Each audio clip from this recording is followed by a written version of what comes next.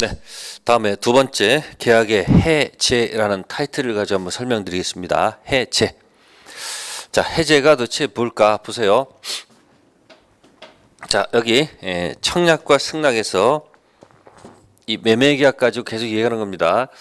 자, 여기 아까 대금 채권, 여기 재산권 채권, 달라 달라라는 효력이 생겼습니다.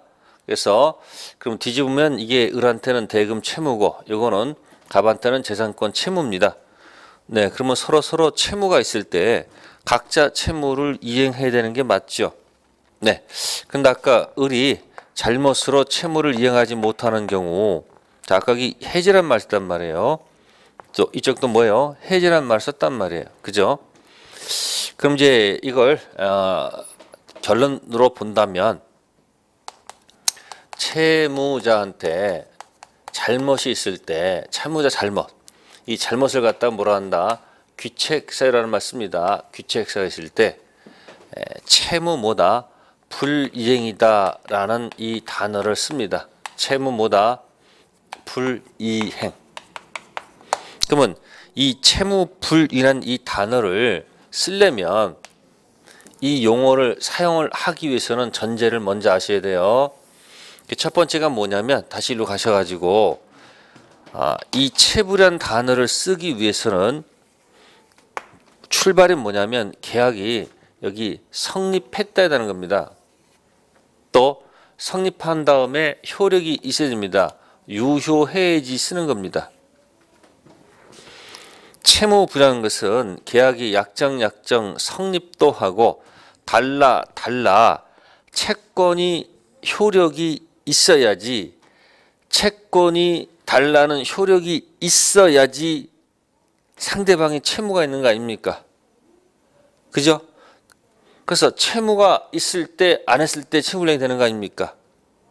그러니까 나중에 이것도 가장 기초가 되겠습니다만은 이 성립 유효 가지고 어떤 일을 얘기하냐면 이게 이제 총칙으로 다시 돌아간다면 어디 돌아간다면요 총칙 돌아간다면 아, 이렇게 할 수가 있어요. 아, 매매 계약이 보세요 성립조차도 못했다. 그 말은 뭐냐면 불성립이란 단어를 씁니다. 반대말은 성립이죠.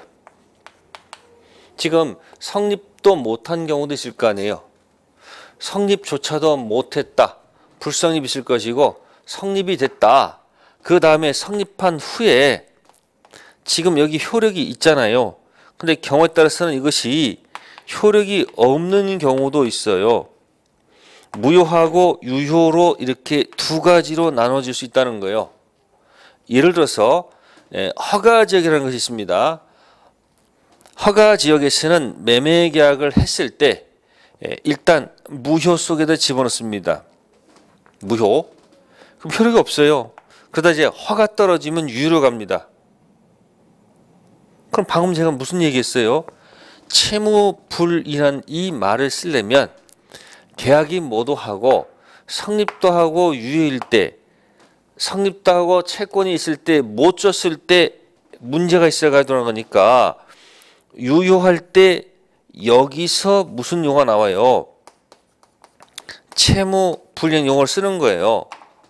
그러면 여러분들이 우리 매매 계약의 모습이 크게 세 가지일 수밖에 없습니다. 여기서는 계약 자체가 성립도 안 했다. A. 두 번째는 성립은 했는데 무효이다. B. 세 번째 성립도 하고 유효하다. C. 세 가지 용어라는 얘기예요. 이거 굉장히 중요한 얘기입니다. 그걸 한다면 성립도 하고 유효일 때 유효한 것은 채권적 달라는 효력이 있는데 여기 채무가 있을 거 아니에요. 이때 채무가 있을 때 이행하지 못하는 게 뭐야? 채무 불이행 아닙니까? 따라서 언제 여기서 채부란 단어 쓰는 거예요. 성립은 했는데 무효일 때는 채무 불이란 말은 절대 쓸 수 없다는 것. 불성립이요? 얘기할 수도 없는 거죠. 그래서 용어를 쓸 때는 순서를 머릿속에 기억해 놓고 쓴다는 얘기죠. 어, 그럼 결국 다 매매에서 모든 이야기를 다 끄집어낸 거예요. 별거 없습니다. 자, 그럼 여기 보시면 체불행입니다. 그러면 체불되려면 아까 계약이 모두 하고요.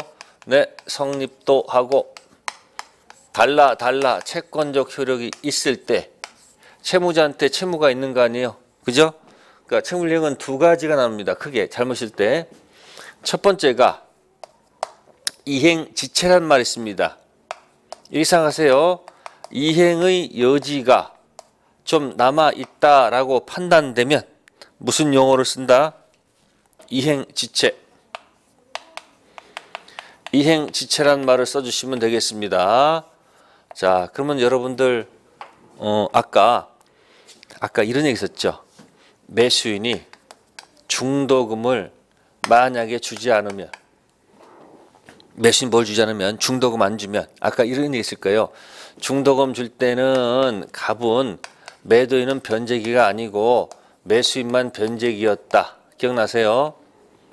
그래서 무슨 관계가 아니다. 동생 관계가 아니고 을은 선이행을 약속한 자란 말이에요. 따라서 이자가 중도금 안 주면 뭐에 빠지는 거예요? 채무령 들어가가지고 뭐에 빠지는 거예요? 이행 지체에 빠진단 말이에요. 을은 뭐가 없어서 항변권이 없다. 항변권 없는 사람이 자신의 채무를 뭐 하지 않으면 이행하지 않으면 아까 얼핏 얘기했어요. 뭐에 빠진다? 이행지체. 그래서 제가 이런 얘기 있었죠. 쌍무 계약에서 무슨 계약에서 중도금 줄 때는 매도인은 변제기 아니고 매수인만 변제기죠.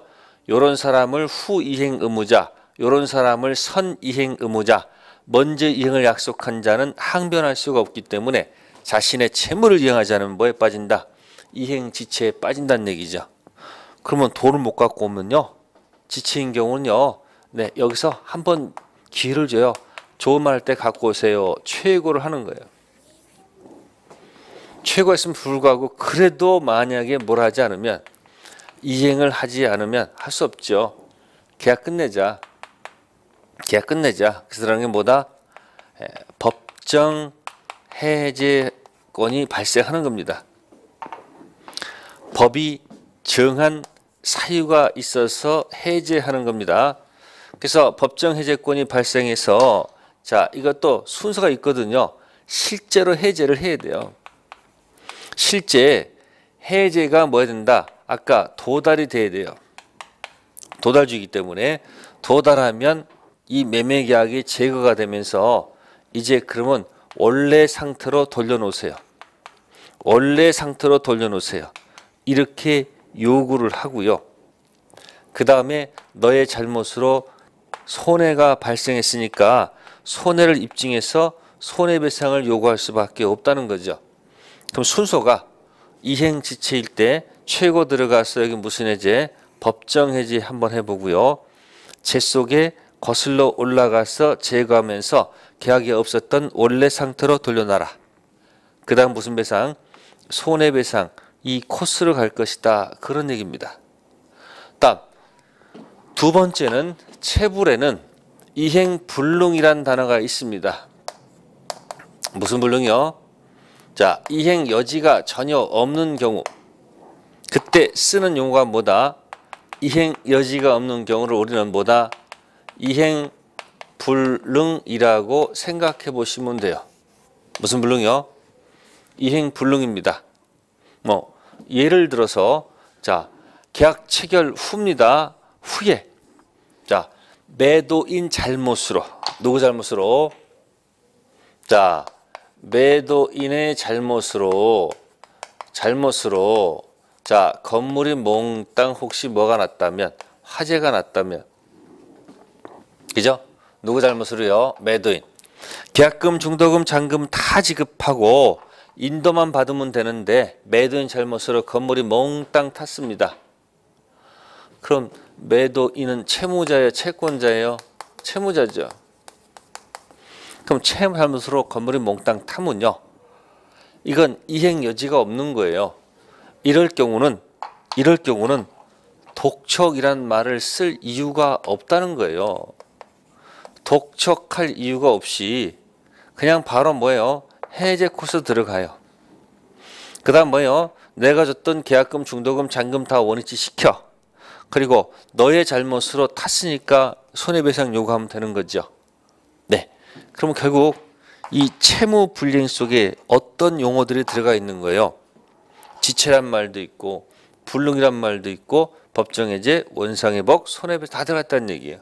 그러니까 이 채무란 말이 어마어마한 용어란 얘기예요. 자, 왜 어마어마한 용어예요? 이런 말들이 다 안에 들어가 있잖아요. 그죠? 다 들어가 있다는 얘기예요. 다 들어가 있어요. 이렇게 이, 말, 이 말이. 그럼 궁극적으로 잘못이 있으면 체불이 있으면 나중에 여기 결국 손 손해배상 들어간다는 얘기예요. 손해배상. 무슨 배상이요? 손해배상. 네. 그래서 지금 그 이야기가 지금 286페이지 몇 페이지요?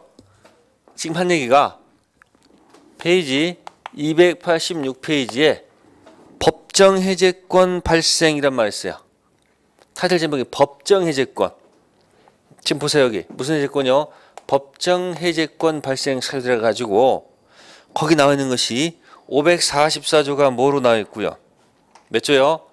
544조가 이행 지체와 해제 이런 말이 있고요.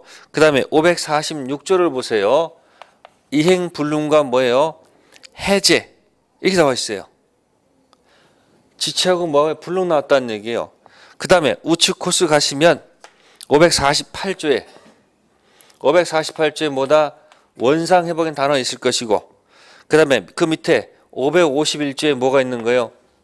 손해배상이 붙어 있다 그 얘기입니다. 그러니까 지금 채행불량도 지금 한 가지 지체고 있고 뭐가 있다 불능이 있다 돈 못 주는 거 매도인 잘못이 하재난 거. 자 그럼 여기서부터 봅시다. 지금 여기는 여기는 누구 잘못으로 매도인 잘못으로 뭐가 난 거예요? 화재가 난 거죠. 그러면 불난 원인을 제가 해볼게요. 계약 체결 후 매도인이 잘못해서 매도인이 잘못해서 뭘 냈다? 에? 불이 났다. 그죠? 또 해봅시다. 또 혹시 매수인이 잘못해서 화재를 낼 수는 없는 걸까요? 잘못해서 화재가 날 수도 있지 않습니까? 자, 매도인 잘못해서 건물이 몽땅 탔다. 매도인 잘못해서 건물이 몽땅 탔다. 또 뭐가 있을까요? 당사자 아닌 누구요? 제3자의 방화로 인해서 제3자의 잘못으로 인해서 뭐가 났다? 화재가 났다. 또 낙내로 화재가 났다. 뭐 여러 가지 있을 거란 얘기예요. 그럼 이걸 가지고 한번 연습해 봅시다. 매도인을 갑이라 합시다. 그럼 갑한테 잘못이 있다 하면 되겠죠. 그럼 뒤집어서 저쪽에 있는 을은 매수인은 잘못이 없다 그런 얘기죠. 매도인 잘못이 있다. 두 번째 매수인이 잘못이 있대요. 네 그러면 갑은 잘못이 없고 을한테 잘못이 있다 그 얘기 아닙니까? 매수인 잘못. 세 번째는 누구 잘못이다? 제3자 잘못입니다. 그럼 누구도 잘못 없고요. 갑도 잘못 없고 을도 잘못 없다는 얘기 아니에요? 그죠? 그럼 어디서 본 것 같기도 하죠. 그죠? 그러면 지금 이 갑은 채무자가 되는 겁니다. 갑은 매도인은 지금 건물 관련 채무자라는 얘기예요. 그럼 여기서 매수인 잘못은 갑은 채무자는 잘못이 없다는 얘기 아니에요. 이거 이쪽도 채무자 갑한테는 뭐가 없다는 거예요. 잘못이 없다는 얘기 아니에요. 그러면 채무자한테 잘못이 있으면 제가 뭐라고 씁니까 이거 이거 예? 이거 뭐야 채무 뭐다 불 이행 이다 아니다 이다가 되죠. 근데 이쪽은 이쪽은 화재 원인은 다르지만 다르지만 갑한테는 잘못이 없잖아요. 그러니까 이쪽은 이쪽은 채무 불 이행 에? 아니다 하면 되잖아요. 이쪽도 채무 잘못이 없으니까 이건 뭐가 아니다. 채무 불이행이다 아니다. 아니다 되지 않습니까? 그러니까 지금 잘 보면 두 가지가 있다는 얘기 아니에요. 그래서 지금 갑은 잘못 있고 을은 잘못 없으니까 을이 누구예요 지금 을이 채권자란 말이에요. 채권자. 그죠? 잘못 없는 갑이 을은 잘못이 없잖아요. 그러니까 채권자는 누구한테? 채부리는 누구한테? 채무자한테. 그죠? 공격 들어간다는 얘기예요. 뭐라고? 너한테 잘못이 있지 않느냐? 채무자 너한테 갑한테. 그게 뭐다? 너한 잘못으니까 이게 뭐니까? 채무례니까 이게 뭐다? 채무 불이행 문제가 되니까 여기 들어가 가지고 뭐가 아니고 네, 이행 지체가 아니고 이건 뭐다? 이행 불능의 문제다. 그러니까 어차피 뭐 안 되는 거 최고 없이 뭐 하고 법정 해지하고 내 돈만 돌려주라. 예? 원상회복. 그 다음 무슨 배상? 잘못 있는 너한테 손해배상 요구하면 된다 그 얘기예요. 그래서 이 조문으로 해결한다는 얘기예요. 이건 546조 몇 조? 546조로.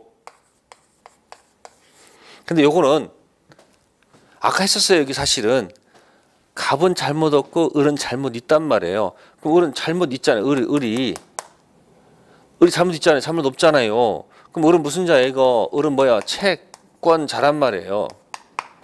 그러면 잘못 없는 누가 갑이 갑이 을한테 뭐 하겠습니까? 나의 채무는 면제받지만 너의 채무는 면제받지 못하니까 갑이 을한테 뭐라 했습니까? 채권자는 뭐요? 대금. 대금 뭐 하는 거요? 청구할 수 있지요. 돈 받으면 되잖아요. 그러면 결국 무슨 얘기예요? 예, 대가, 건물의 대가, 손실, 즉 뭐는 위험은 부담하겠죠. 누가 부담한다? 을이 부담한다 그 얘기예요. 을. 을이 누구예요? 채권자가 부담한다 그 얘기예요. 위험 부담. 또 이쪽은 서로 서로 잘못이 없어요. 그럼 을은 무슨 자예요? 채권자예요. 채권자. 그러면 서로 채무 면제받으니까 갑이 을한테 뭐 달라 할 수 없는 거예요. 돈 달라 할 수는 없는 거 아니에요. 대금 청구할 수는 없습니다. 이 두 가지는 절대 채무불량이 아닙니다. 갑한테 뭐가 없기 때문에 잘못이었기 때문에 그러니까 대금 청구할 수 없으니까 뭐 대가 손실은 할 수 없죠. 위험은 다 누가 부담한다?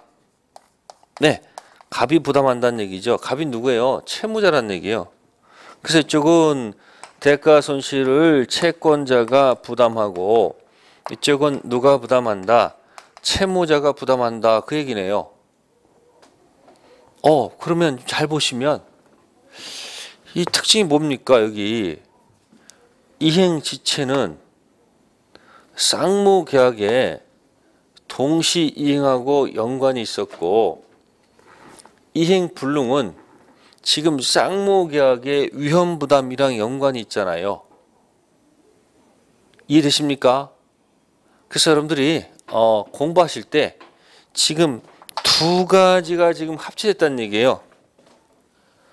그래서 자꾸 제가 뭐 합니까? 합체시키는 이유가 있는 거죠. 네. 그러면 결론을 잠깐 내볼까요? 여러분들이 어느 한쪽이라 잘 보면 되겠죠. 채무 불이행했을 때 보세요. 요 이행 지체는 가서 생각하시면 돼요.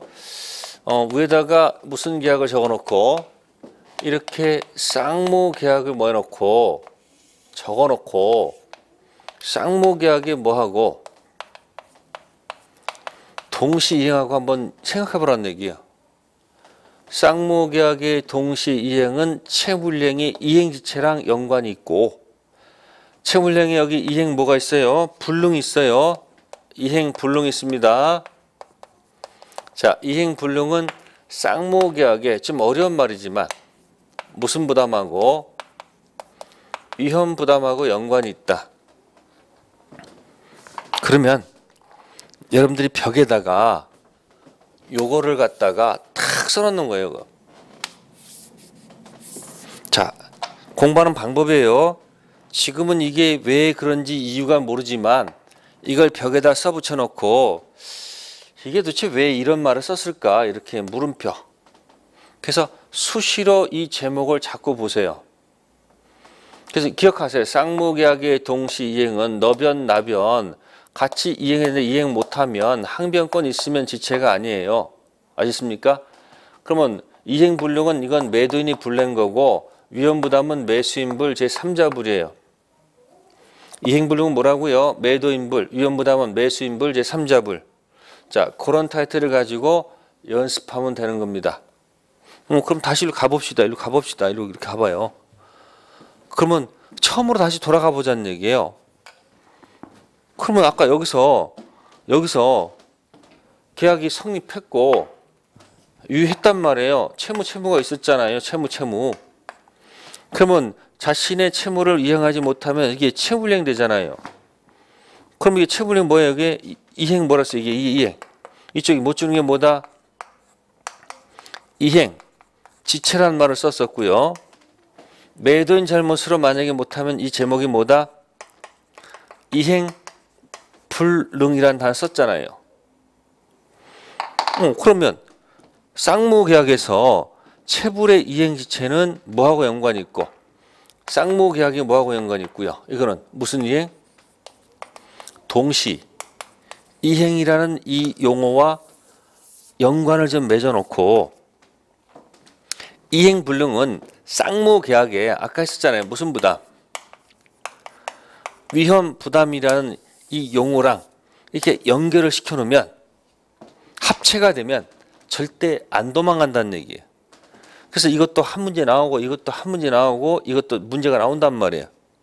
이걸 여러분들 8월까지 고민하고 생각하고 하면 돼요. 틀을 안 잡으면 무슨 내용 하는지 아무것도 몰라요. 그러니까 지금 얘기했잖아요. 지금 계약이 성립도 하고 유효했을 때 달라가 있을 때 이 채무령 말이 나오는 거예요. 따라서 여러분들 만약에 계약조차도 만약에 이게 성립이 아니고 불성립하게 되면 채권이 조차도 말 필요 없으니 이거 없고 성립하더라도 무일 때는 채무란 말 쓸 수가 없어요. 채권이 없기 때문에 채무련만 반드시 나온다는 얘기예요. 그래서 뭐하고 이행 지체하고 뭐다 이행 불능 기억할 필요가 있다는 거죠. 자, 그럼 이것도 제가 어, 설명을 드린다면 여기 잘못이 있어요, 없어요? 있죠. 귀, 귀, 귀. 귀 있잖아요, 귀, 귀. 귀책사 있잖아요. 채불, 그 다음에 손배예요. 여기도 귀책사가 있고 채불이 있고 뭐다 손배. 그래서 어, 요 귀를 갖다가 요 귀를 잡으시고 귀, 귀, 귀. 귀 잡았죠? 뭐로 잡아? 손. 손. 다섯 글자가 뭐예요? 채무불이행, 손. 오른손 잡고 귀 잡고 채무불이행, 손. 그러니까 양손 귀를 잡고 채무불이행 앞으로 내밀고 손해배상. 그리고 손 잡고서 이렇게 연습하라는 얘기예요. 아, 왼쪽은 이행지체, 요거 이행지체, 또 뭐요? 법정해제, 원상회복, 손해배상. 오른쪽은 이행불능, 법정해제, 원상의 손해배상. 네, 그렇게 해가지고 여러분들이 딱 틀을 잡고 이게 이행지체면 위에 뭐가 있다? 동시행이 있고 이행불능 위에 뭐가 있다? 위험부담이 있다. 이거 지금 이해 못해도 좋아요. 8월까지 계속하면서 이게 왜 그럴까? 몸동작을 통해서 한번 해보라는 얘기예요. 그래서 계약법이 딱 풀리는 순간 제목이 풀리게 되면 점수가 나옵니다. 여기 원상회복 들어가 가지고 대금 줄 때 이자 붙여서 줘야 된다. 에? 손해배상할 때 이행이익이 원칙이다. 이런 게 지금 중요한 게 아니라고요. 이런 게 지엽적인 것에 신경 쓰지 마시고 법은 큰 틀음을 따라서 먼저 틀을 만들어 놓고 갖다 붙이면 쉽게 쉽게 된다는 얘기예요. 자꾸 책을 쪼개지 마시고 붙여가지고 그러면 한 방에 해결할 수 있습니다. 네, 그래서 두 번째 시간은 뭐에 관한 거? 법정 해제에 관한 내용을 설명드린 겁니다. 그래서 채무 불이란 무슨 해제? 법정 해제. 아셨습니까? 네, 잠시 쉬었다가 이제 또 다른 내용 해보겠습니다.